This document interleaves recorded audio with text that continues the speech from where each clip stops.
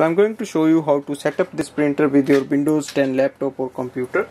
Now first step is to switch on the printer. So press the power button and go on the display panel.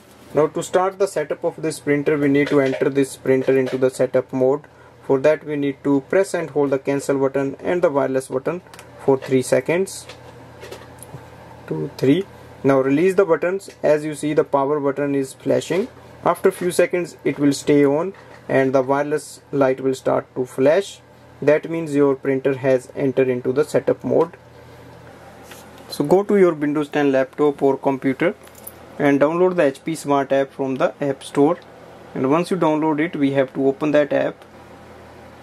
So in the HP Smart app we have to add the printer. So as you can see there is a plus button here on this corner here. That's the plus button. So just click on that and on the next screen it will show up the printer here. That is DeskJet 2600 series. So just click on that. And it will start the setup process. So click on continue.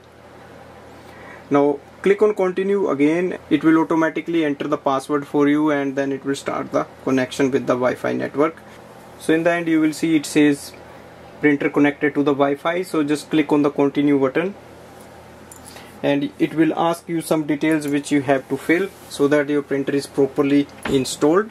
Make sure you follow all the steps. Now it will ask you if you want HP instant ink and you can just have to click continue. Here you can say no instant ink or you can select the plan as you want and click on continue again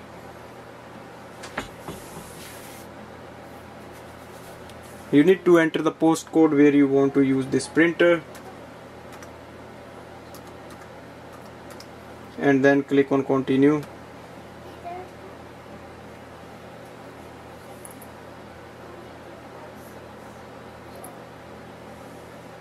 You can also send the link if you want it or you can skip it.